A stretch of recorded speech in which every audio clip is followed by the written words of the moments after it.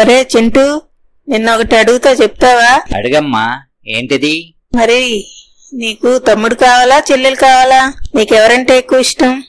మరి చెప్పాక నన్ను ఏమీ అనకూడదు సరేనా? అబ్బా సరేలేరా.